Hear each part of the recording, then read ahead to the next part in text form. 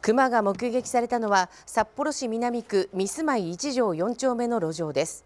午前6時ごろ付近をランニングしていた40代の男性が体長1.2メートルほどの熊1頭を目撃しました。その後熊は三住小学校の方へ移動していったということです。三住小学校では児童の安全を確保するため今日は臨時休校となりました。買い物がないのかな？もしあったら大変だよね。札幌市は午前10時ごろから現地を調査していますがこれまでに熊の痕跡は見つかっていないということです。警察と市が注意を呼びかけています。